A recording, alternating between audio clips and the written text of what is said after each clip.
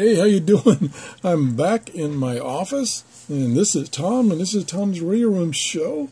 And I was paying some of my bills this morning, and I looked up and I go, "Hey, here's my Grundig 750." Now, what I've done is since it's much cooler, it's wintertime, it's much cooler, I have moved my recording for my shows down in my workshop because that's where my test equipment is. And um, I don't need the air condition on now like I would if it was summertime down there. So I typically do my recordings in the summertime up here in my office where it's air conditioned. So lo and behold, I forgot about, the, I haven't used it in quite a while, my satellite 750 for long wave. Now it direct tunes long wave. You don't have to do any special button pushing or anything like that.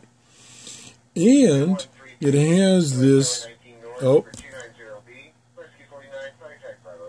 Sorry, I have um, a monitoring fire and EMS in the background here. Um, and it has this long, long wave, medium wave antenna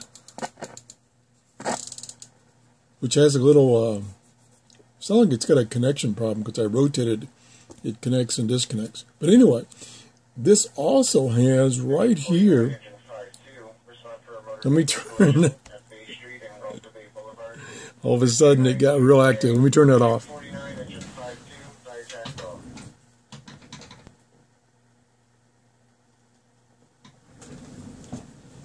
Sorry about that. I can sit here for hours and not hear anything on the local fire and EMS, and right when I start recording, I hear um, all kinds of traffic. But anyway, so it has this um, jack right here for plugging in an external antenna. So I've got this antenna, it's a nice big antenna for a, a long wave and medium wave, plus I have this external jack. So this is going to be the radio I use. I don't know I haven't looked up uh, how well a receiver it is on long wave, but I'll do that soon. And um, I'm also uh, recording on my cell phone since I've got all my webcams down in the workshop now.